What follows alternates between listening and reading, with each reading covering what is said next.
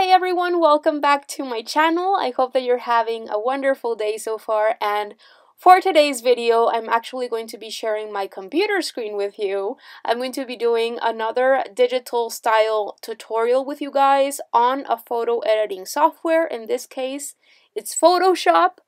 And this topic was requested by one of my viewers on my past video that I created on how I scan, edit, and upload my work onto Society 6. Today's video is especially created for artists that are just getting started, exploring photo editing softwares, and getting your traditionally made artwork onto a digital format. Now, if you're an artist and you're just starting to investigate ways of getting your artwork online in order to sell it, in the form of art prints or perhaps creating designs with your work that you can place on products.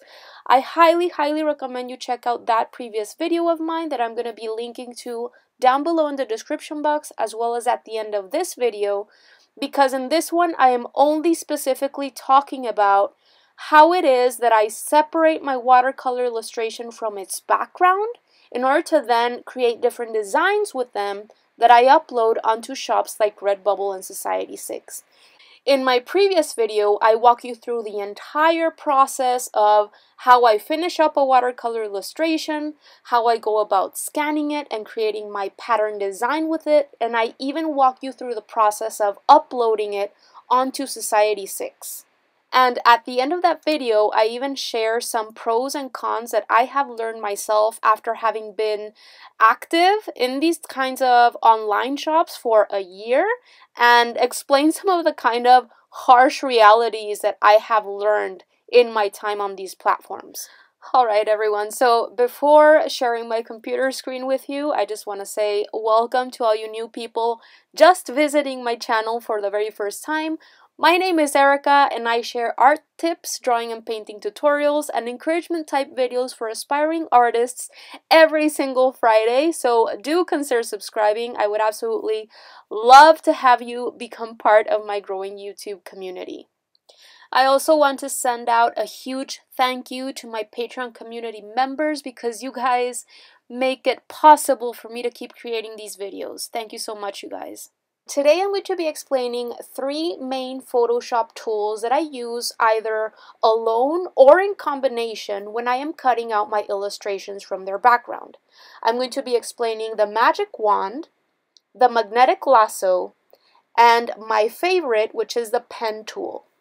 I really wanted to explain these three tools instead of only one because this way you can just explore all three of them and come to a conclusion about which one you're most comfortable using and which works best for your particular artwork and what it is you're trying to do. And just as a quick side note, because this is very, very important, this painting was scanned at 300 dpi. And I am never ever going to stretch it beyond the size that it is now at any point in my editing or designing process. Your paintings have to be scanned at least at 300 dpi if you're planning on printing it in any shape, way, or form. Alright, so I'm going to be doing these demonstrations using this one Monstera leaf painting and we're going to get started with the magic wand.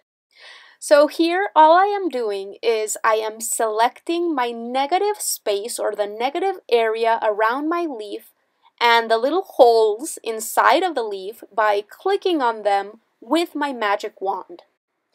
In Photoshop, if you want to select multiple areas simultaneously or add spaces to your selection, then you have to keep your shift key pressed down. If you do not keep your shift key pressed down, then the moment that you make your next click, the previous selected area is going to deselect. Once I'm sure I have all of my negative areas selected, I am going to go to the Select menu at the top and I'm going to choose Inverse. This is going to make it so that you are actually selecting the positive space, so your leaf.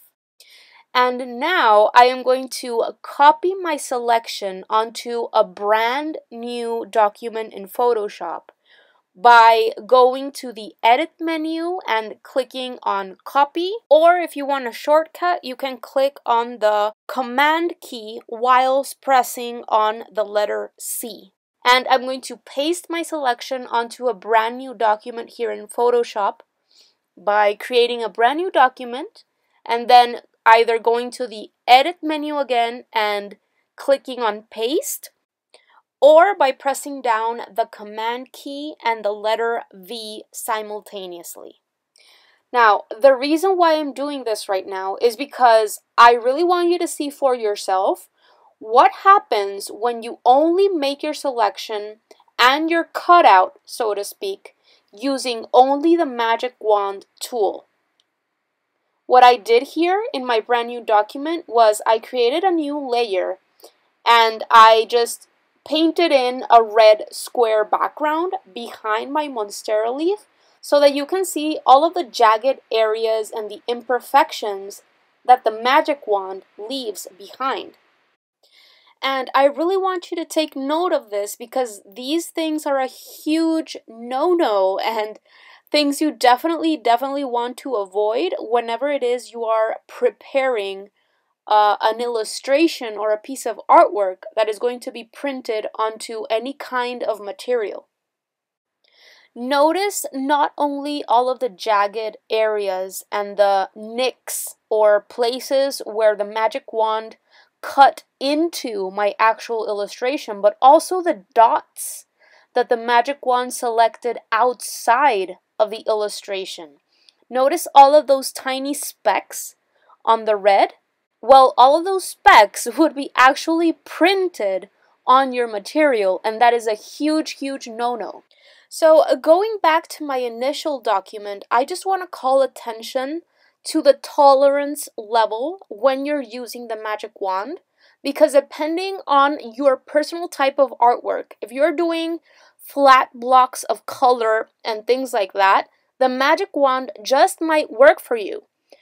So basically what the tolerance is, you can go ahead and change the number in that little field. And the lower the tolerance is, the less colors are going to be selected. So you can see right there that I changed my tolerance level to a level 10. And you can see all the little moving ants that demonstrate the selected areas. Now, if I go back and I change the tolerance level to 100, you can see the huge difference in the areas that were selected. You can explore this for yourself and see if this is something that would work for your personal type of artwork. For me, it just seems a little bit of a, it's a little bit of a hassle because since I do watercolor, there are areas that are very transparent and I just find that no matter how much I play with the tolerance, it just the selection keeps eating into my illustration. So, having done this quick test, we can conclude that the magic wand is definitely not going to be enough in and of itself to make our selection or cutout of our illustration. I'm going to show you how I use the magic wand in combination with the polygonal lasso tool in order to make my selection a little bit more refined. So I did my initial selection exactly the same way I did it the first time around. I went ahead and with the magic wand selected the background as well as the little holes inside of my leaf. Then I went to the select menu and clicked on inverse. And what I am doing now is I'm going to click on the polygonal lasso tool which you're going to find by clicking on the lasso icon, which is my third icon down in my tools bar. And right there, you're going to see three options. Click on the polygonal lasso tool. And using this tool, you are going to either add or subtract to your leaf selection depending on the errors left behind by the magic wand. Now, remember what I said a bit back when we were doing the first exercise that you need to keep the shift key pressed down if you want to add to the selection. And actually, if you notice, as you're using the magic wand, as well as other selection tools that we're going to see later on in this video, if you click on the shift key while using the magic wand, you're going to notice a little plus sign next to your cursor. This is going to help you remember that whatever you select while holding down the shift key is going to be an addition to your previous selection. On the other hand, if you click on the Alt key while you're using the magic wand, you're going to see a little minus symbol next to your cursor. So this means that if you hold down the Alt key as opposed to the Shift key, the Alt key is going to take away or subtract from your selection.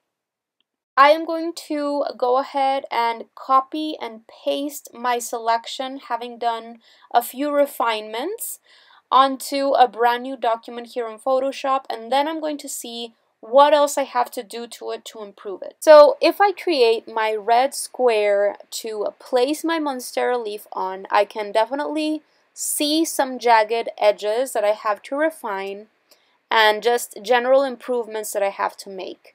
At this point, I can either decide if I want to use my polygonal lasso tool again, or I can also use an eraser. If you choose to use the eraser, you should know that there is a little menu on the top left hand corner. There is a little dot and a number and a little arrow that you can press down to change the size of your eraser depending on the area that you're going to go into. So here I am erasing all of the little white areas and specks I see throughout my leaf that I definitely want to remove. I want my edges of my illustration to be sharp and clean.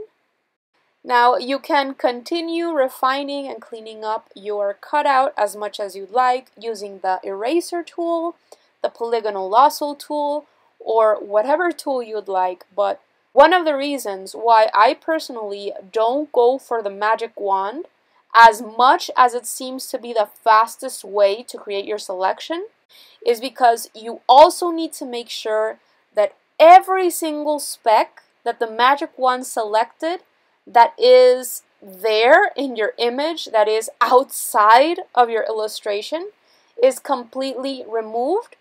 And many times, those tiny specks are very, very difficult to see. And you have to make sure that all of them are erased. So for me, as much as the magic wand seems to initially be the fastest option to create your cutout, it's actually not because you have to make sure that all of those tiny specks are completely erased at the end, which takes up a lot of time. Okay, you guys, so having explained the magic wand tool, I am now moving on to explaining the magnetic lasso tool. For me, it's not really my favorite. My favorite is the pen tool, which I'm going to explain next. But in my personal situation, it is definitely a step up from a magic wand, and it's something that a lot of illustrators out there do enjoy using themselves, so I'm just going to go ahead and explain how to use it. So basically, to use the magnetic lasso tool, you're going to select this tool, and then you're going to very carefully move your cursor. You don't have to click. You just move your cursor around the element you want to select as closely as possible to its outer limits or to, I guess you could call it an outline. Um, but you don't have to be super perfect because the paths are going to snap right onto and glue right onto the closest shape it can find.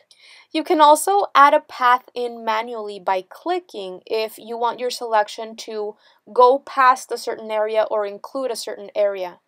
Once you're done very carefully going around your entire element that you want to select, you simply click on the very first path that you laid down, and then this is going to enclose your selection, and you're going to see those walking ants again as opposed to the paths. So yeah, of course it's going to take a lot longer than just making a few clicks here and there with your magic wand, but at the same time you're going to have a lot more control over your selection and also, with this magnetic lasso tool, you're going to make sure that no little specks very far away from your illustration are going to be selected.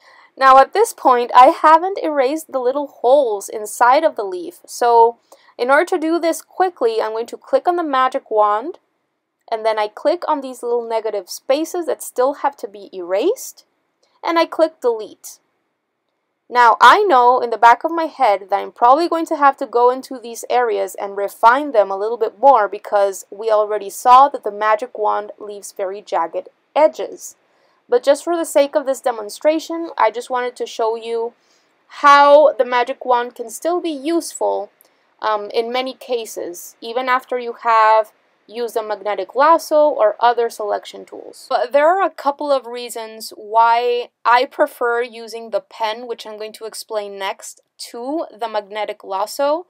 But right here, I went back to pasting this selection that I did using primarily my magnetic lasso onto my red square so that you can see that there are still a lot of imperfections left even with the magnetic lasso. I would say just generally speaking the edges are a lot less jagged than when I used only the magic wand but there are definitely a lot of little nicks and extra white spaces I need to remove etc. Alright, so moving on to the third and final selection tool, and this is by far my favorite because it allows me the most control, and I just, I guess it works best for my particular case. You can find it right there in the toolbar, so I went ahead and I clicked on it, and I'm going to start creating my selection by picking a point along the outer limits of my element anywhere along this outline and clicking there, that is going to create my first path. Now, one of the awesome things about the pen tool is that it allows you to very easily create both straight lines as well as curves. If you want to create a straight line, you simply create one path and click anywhere at a distance from that path. And that is going to create a straight line from one path to the next. If you want to create curves, like for example, with this particular case that we are doing right now, in which we are trying to select an element that has lots of curves, what you have to do basically is, if I want to create a curve, then the moment that I lay down my brand new path, I'm going to keep the left button of my mouse pressed down and I'm going to move my cursor away from this final path that I've laid down. This is going to bring out a handle. And you can tell when you're creating a handle because these two little circles come out to either side of your path, which is a square. And handles can be very short or they can be very long, depending on how far away from your path you pull out your cursor as you're clicking on your left side button on your mouse. So right here, just so that you can see this a little bit more clearly, I am creating a straight line with my pen tool, and then I am creating another layer to show you how to make a curve, a little bit more, you know, more of a close-up so you can actually see this handle. Right there, I am clicking down on my left button and pulling out, out away from the path. And you can see this handle come out and create a curve if you are testing out a brand new tool like this one, I highly, highly recommend that you open up a brand new document in Photoshop and just practice with it. Test it out and become used to it, okay? Before you actually go ahead and try it out on a complex subject.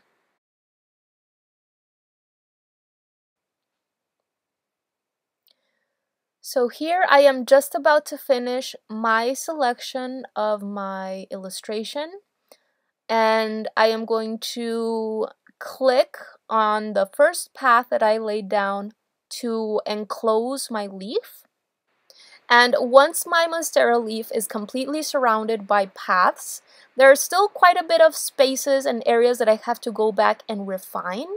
So what I do is I select my direct selection tool, which is a little white arrow that is in the bottom area of your toolbar. And as you can see, when you are using the direct selection tool, you can simply click on paths that you have already laid down and move them, as well as refine or move those handles around as well. So I am there, you can see me move my paths much more closely to the outer limits or the edges of my Monstera leaf to make sure that my selection doesn't include any white spaces at all.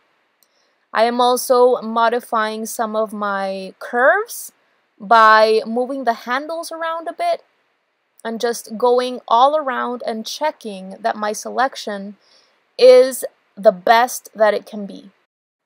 And once that's done, I have to open up my paths window if I don't have it open already. So I go to my window menu, the drop down menu at the top. I click on paths and that is going to open up my paths menu. You can see right there the little leaf shape created by my paths. Now I want to select this shape created by my paths. So I'm going to click on the little lines that are in the top right hand corner of this path menu and I'm going to click on make selection. This is going to create the selection and you're going to see that this has been selected because the little walking ants are all around this shape. So once again, I have my leaf selected, but I haven't deselected the little holes inside of the leaf. So I'm going to go ahead and take the magic wand again and click on the little white negative spaces that I want to leave out. Now, just to finish up, I'm going to do this for one last time and paste this leaf onto my red square on this other document so that you can see for yourself the huge difference of having done the selection using the pen tool and using just a tool that allows you a lot more control overall. You can see that the only jagged areas are the areas that I selected using the magic wand, but everything else has super smooth edges. So yeah, it might have taken me longer than the magic wand and even longer than the magnetic lasso, but I am not going to have to spend as much time going back to certain areas and refining them as I did with those past tools, and I can be 100% sure that I'm not going to have all of these little specks anywhere outside of my painting.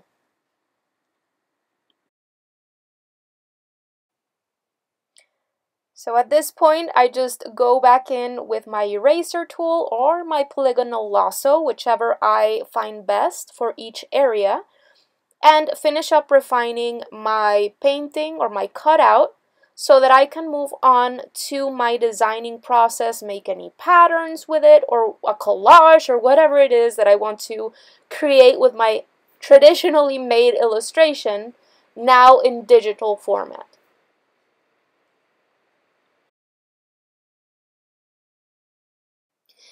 If you are going to be printing your illustration onto things like t-shirts or mugs or something like that and you require a transparent background, simply delete the unneeded layers over in your layer menu in Photoshop and save your file as a PNG. These final PNG files are the ones that I upload onto Redbubble and Society6 in order to place them on different products.